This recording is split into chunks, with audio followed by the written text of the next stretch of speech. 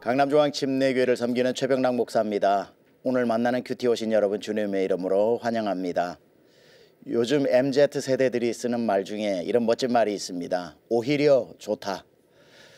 상황은 같지만 어떻게 우리가 그것을 받아들이느냐, 아, 어떻게 내가 대하느냐의 태도에 따라서 그것이 더 좋아질 수 있다는 아주 긍정적 에너지가 넘치는 MZ 세대에 어울리는 말이라고 생각합니다. 어제와 같은 오늘이 시작됩니다. 여러분들이 그 하루를 어떻게 맞이하는 것인가도 굉장히 중요하겠죠. 이렇게 시작하고 외쳐보고 시작하면 어떨까요? 오히려 좋다. 오늘이 좋다. 그래서 감사하다. 이 긍정의 에너지를 가지고 또 우리에게 주신 하나님의 말씀을 함께 묵상하면서 오늘 만나는 큐티 시작하겠습니다. 우리 오늘 함께 묵상할 말씀은 우리 주님께서 가르쳐 주신 기도입니다. 마태복음 6장 9절에서 13절까지의 말씀입니다. 그러므로 너희는 이렇게 기도하라. 하늘에 계신 우리 아버지여 이름이 거룩히 여김을 받으시오며 나라의 임하옵시며 뜻이 하늘에서 이룬 것 같이 땅에서도 이루어지이다. 오늘날 우리에게 일용할 양식을 주시옵고 우리가 우리에게 죄 지은 자를 사하여 준 것 같이 우리 죄를 사하여 주시옵고 우리를 시험에 들게 하지 마옵시고 다만 악에서 구하시옵소서. 나라와 권세와 영광이 아버지께 영원히 있사옵나이다. 아멘. 오늘은 구절의 말씀. 그러므로 너희는 이렇게 기도하라. 하늘에 계신 우리 아버지여 이름이 거룩히 여김을 받으시오며 이 구절의 말씀을 가지고 함께 은혜를 나누겠습니다. 6장 9절에 나오는 우리 주님께서 가르쳐 주신 기도의 첫 번째입니다. 너희는 이렇게 기도하라 하늘에 계신 우리 아버지여 이름이 거룩히 여김을 받으시오며 예수님이 이 땅에 오셔서 많은 사역들을 감당하셨지만 예수님의 사역 중에 너희는 이렇게 하라라고 하면서 무엇을 가르쳐 주신 것이 많지 않은데 이 주님이 직접 가르쳐 주신 것에 기도가 있습니다. 많은 분들이 이렇게 생각하죠. 아, 기도를 왜 굳이 해야 하는가? 모든 것을 아시는 하나님이 기도하지 않으면 그럼 모르시는가?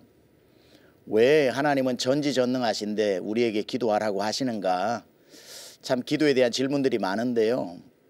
그걸 다 떠나서 우리는 기도해야 될 두 가지 이유를 어, 생각해 볼 수 있습니다. 첫째, 예수님도 기도하셨다. 아, 예수님이 기도하셨는데 천하 인간 누가 기도해도 하지 않아도 될 사람이 어디 있겠습니까? 하나님의 아들이시고 그야말로 전지전능하신 예수님도 아침에 일어나 하나님 앞에 또는 밤에 겟세만의 동산에서 또는 무시로 하나님 아버지 앞에 기도를 했다면 우리는 당연히 하나님 앞에 기도해야 되는 것 아닌가 생각합니다. 기도해야 할 두 번째 이유는 예수님이 이렇게 기도하라고 가르쳐 주셨기 때문입니다. 다른 것을 가르쳐 주시지 않은 예수님이 유독 기도만은 명시적으로 가르쳐 주셨다는 거죠. 그것이 바로 오늘 마태복음 6장에 나오는 우리 주님이 가르쳐 주신 기도입니다. 주님이 우리에게 기도를 가르쳐 주셨다는 건 굉장히 가슴 뛰는 일입니다. 그리고 그게 성경에 들어가 있다는 건 우리에게 참 안심이 됩니다. 아침, 점심, 저녁으로 주님이 친히 가르쳐 주신 기도를 우리가 할 수 있다는 것. 사람이 가르쳐 줬다면 내용의 문제도 좀 있을 수 있고 그 당시 상황에 따라서 뭐 기도가 특별히 강조된 부분도 있겠지만 우리 안고 일어섬과 세상을 창조하시고 마무리하실 모든 것을 아시는 분이 가장 완벽한 기도를 우리에게 주셨다는 것. 이 기도의 포뮬라, 공식이 있다는 것. 그래서 우리의 감정에 의존하지 않고 상황에 의존하지 않고 이 내용을 우리가 계속 믿음으로 읽기만 해도 주님이 가장 우리에게 원하시는 기도를 드릴 수 있다는 것. 와, 이거 얼마나 가슴 뛰는 일입니까? 주님이 가르쳐 주신 기도의 첫 번째를 오늘 여러분과 함께 잠시 나누면서 또 여러분의 오늘 하루의 삶에 적용해 보기를 원합니다. 우리 주님 이렇게 기도하라고 말씀하시면서 처음 문을 이렇게 여셨어요. 하늘에 계신 우리 아버지여 이름이 거룩히 여김을 받으시오며 하늘에 계신 우리 아버지여 라고 기도하라고 이야기합니다. 알렉산드 슈메만이라고 하는 학자가 하나님 우리 아버지라고 하는 책을 썼습니다. 그 책에 이런 멋진 말을 남겼습니다. 예수님이 주기도문을 통해서 우리에게 주신 가장 큰 선물은 무엇일까? 예수님이 주기도문을 우리에게 주시면서 주신 가장 큰 선물은 하나님을 아버지라고 불러라고 허락하신 것. 하나님을 아버지라고 부르게 하신 것이 주기도문에 나오는 우리에게 주신 가장 큰 예수님의 선물이라는 겁니다. 예수님만이 하나님을 아버지라고 부를 수 있는데 예수님이 우리에게 기도를 가르쳐 주시면서 너희는 이렇게 기도해라. 앞으로 하늘에 계신 우리 아버지요. 이것이 예수님이 우리에게 주신 가장 큰 선물입니다. 저는 1998년도에 IMF 때에 미국 유학길에 올랐습니다. 얼마나 경제적 사정이 어렵던지 1달러에 어, 1,800원에 바꾸고 가다 보니 경제적 여력이 없어서 참 많은 고생을 했습니다. 같이 입학을 한 한 몇 살 많은 어, 전도사님이 어, 저랑 같이 Admissions Office라고 그 학교 어, 사무실에서 만난 적이 있습니다. 그 전도사님은 공부만 열심히 를 하고 학교 job을 잡지 않는 겁니다. 그래서 제가 물어봤습니다. 전도사님은 일하지 않고도 유학 생활 문제 없나 봐요. 그러니까 그분이 뒷머리를 슥슥 긁으면서 이렇게 이야기했는데 아직도 잊혀지지 않습니다. 아 저희 아버지가 부자라서요. 아, 그 말을 듣는데 거리감이 확 느껴지더군요. 저는 스무 살 때 저희 아버지가 돌아가셨기 때문에 가정적 지원을 받지 못하고 유학 생활을 했는데 아버지가 부자라서요. 그 말에 굉장히 제가 실망을 했던 적이 있습니다. 제 스스로에게. 한 몇 개월 후에 다시 어느 캠퍼스에서 만났는데 궁금해서 견딜 수가 없습니다. 그래서 다시 물어봤습니다. 전도사님 그런데 아버지가 뭐 하시는 분이세요? 저에게 했던 말은 잊어버리신 것 같아요. 아니요, 저희 아버지 제 어릴 적에 돌아가셨어요. 그러더라고요. 제가 그래서 아이 무슨 소리 하시냐고 아버지 잘 만나서 일 안 하신다고 그랬지 않냐고 하니 기억을 더듬어 아 하면서 이렇게 얘기합니다. 하나님 아버지요. 하나님 아버지요. 아 그 말을 듣는데 속은 것 같아 가지고 어, 몇 마디 나누다가 돌아서서 집으로 돌아오는데 가만 그 아버지면 내 아버지인데 이 생각이 드는 거예요. 저분도 하나님을 아버지로 믿고 나도 하나님을 아버지로 믿는데 왜 저분은 아버지처럼 믿고 나는 아저씨처럼 믿나 이 생각에 제가 참 웃기도 하면서 회개했던 기억이 선명합니다. 우리는 하늘에 계신 우리 아버지요라고 하나님을 믿으면서도 입으로는 아버지라고 하지만 우리의 마음은 진짜 하나님을 아바 아버지, 아빠 아버지로 대하지 못하고 어려워하고 찾아가기 부담스러워하고 멀리 계신 분으로만 생각하는 그러한 우리의 태도가 있습니다. 우리 예수님께서 우리에게 주신 가장 근사하고 가장 고맙고 멋진 선물은 아니야. 이제부터 하나님을 아버지라고 불러. 기도할 때마다 아버지라고 불러. 하늘에 계신 우리 아버지요. 오늘 하나님이 여러분에게 아버지로 다가올 수 있었으면 좋겠습니다. 그런데 우리는 기억해야 하는 게 아버지인데 하늘에 계시다는 겁니다. 이것은 거리를 말하는 게 아닙니다. 하나님의 영광과 하나님의 권세와 하나님의 크기와 하나님의 통치를 말하는 거죠. 땅에서 나만큼 내 눈의 시선으로 보시는 게 아니라 내 모든 문제를 하늘에서 보고 있는 그래서 내 과거도 내 현재도 내 미래도 한눈에 볼 수 있는 하늘에 계신 통치하시는 분, 다스리시는 분, 나의 처음과 끝을 다 알고 계시는 그분이 내 아버지라는 사실. 내가 그 아버지께 무엇을 구했는데 하나님도 나만큼 보시고 나만큼밖에 모르신다면 우리가 무슨 기도를 할 수 있겠습니까마는 그분은 하늘에 계셔서 내 인생을 굽어 보시고 잘못된 길로 가는지 제대로 가는지 앞에는 무슨 무슨 일을 닥칠지 과거에는 무엇을 더 기억할 필요가 없는지 우리를 그렇게 인도해 가시는 하늘 권세 보좌에 앉으신 그분을 신이시여 하고 불러라는 게 아니라 아버지라고 부르라고 하는 겁니다. 저마다 아버지에 대한 추억이 달라서 하나님에 대한 아버지의 개념이 다르게 다가올 수 있겠지만 상처받은 아버지 밑에서 무서운 아버지 밑에서 유난히 냉정했던 아버지 밑에서 자란 사람은 하나님을 아버지라고 부를 때에 하나님도 그렇게 느껴질 수 있겠지만 여기서 말하는 아버지는 우리의 경험을 다 초월해 버리는 정말 모성애와 부성애를 다 품고 있는 아플 때는 밤새도록 우리의 이마에 물수건을 얹어주며 우리보다 더 잠을 못 이루던 엄마의 모습과 그리고 하루 종일 밖에 나가서 내 먹을 것을 준비해온 부지런한 아버지의 그 모습이 하나님 아버지라고 하는 단어 속에 모성애와 부성애로 다 담고 있는 세상 어디에서도 경험할 수 없는 최고의 아버지라는 사실을 우리는 기억해야 합니다. 그 하나님 앞에서 예수님이 계속 말씀하십니다. 하늘에 계신 우리 아버지여 이름이 거룩히 여김을 받으시오며 거룩히 여김을 받으시오며 하나님 아버지를 우리가 얼마나 많이 망령되이 일컫고 하찮게 여기고 심지어 미국에는 하나님의 이름을 가지고 욕을 만들기도 하고 아무데나 하나님의 이름을 걸고 헛된 내 맹세의 보증으로 삼기도 하고 거짓말하는 데 있어서 확신을 주는 그런 메시지로 사용하기도 하고 하나님의 이름은 거룩해야 합니다.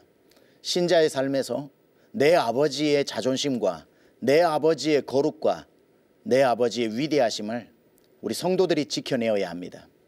우리의 삶을 통해 하나님이 그렇게 거룩하신 분이구나. 내 언어를 통해 하나님이 정말 말씀으로 천지를 창조하실 수도 있겠다. 하나님의 이름이 거룩해지도록 지도록 자녀의 삶을 통해 부모의 삶이 판단받는 시대 앞에 우리의 삶에 정말 예수의 흔적이 나타나서 하나님의 그 귀한 이름이 내 아버지가 거룩히 여김을 받을 수 있는 그러한 삶을 우리는 마땅히 살아내어야 할 것입니다.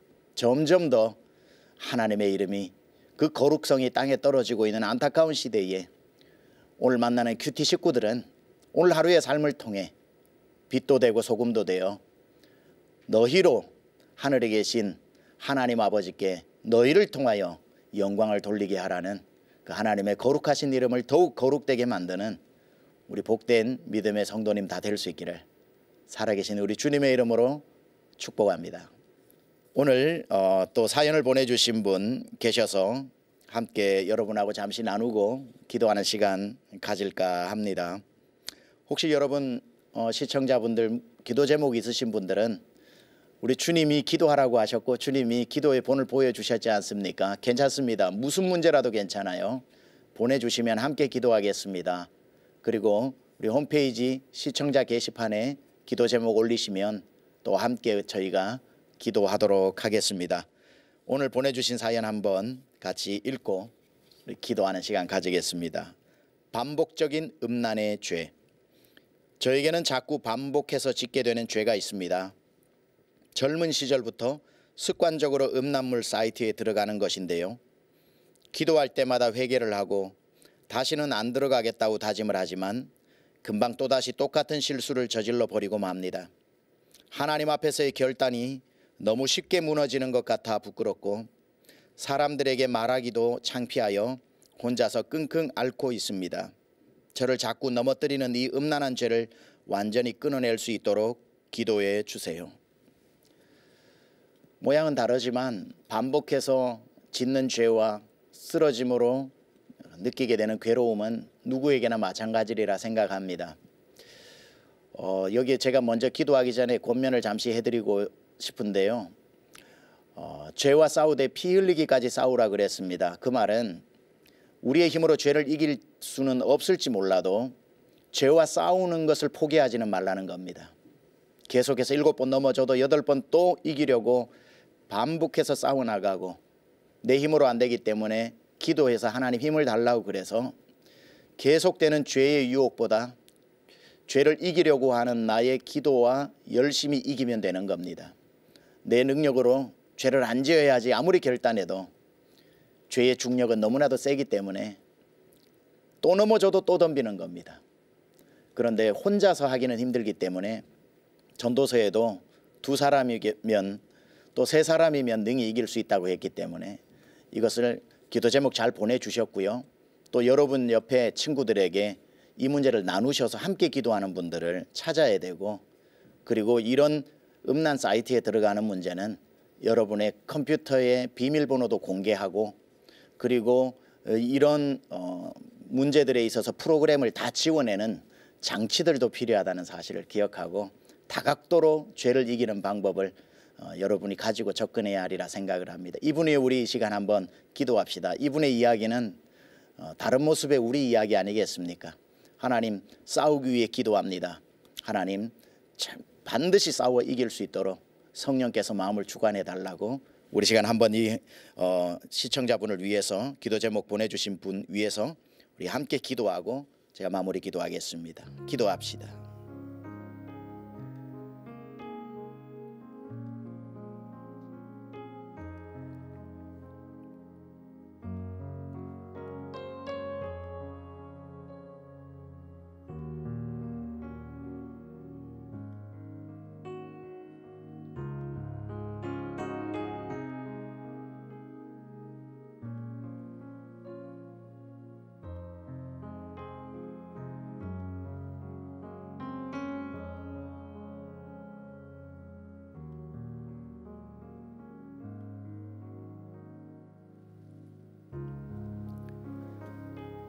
하나님 아버지 우리가 죄의 날마다 넘어지지만 죄와 싸우는 것을 포기하지 않게 하시고 오늘도 주께서 거룩하게 살고자 몸부림치는 주의 백성들에게 이길 힘과 능력을 허락하여 주옵소서. 하나님을 아버지라 부를 수 있는 이 영광을 잊어버리지 않게 하시고 하나님이 오늘도 하늘 보좌에서 우리를 내려다보시고 갈 길을 인도하시는 분임을 잊지 않게 하시고 우리가 오늘 기도한 것처럼 하나님의 이름이 거룩함을 받기 위해 거룩을 향한 몸부림이 멈추지 않게 하여 주셔서 오늘도 우리 함께 큐티함에 시작하는 모든 믿음의 성도들의 삶에 우리의 삶을 통해 하나님의 거룩이 나타나고 하나님 아버지의 이름이 높아지는 은혜의 시간 그러한 삶 되게 하여 주옵소서. 감사드리며 예수님의 귀하신 이름으로 기도드렸습니다. 아멘.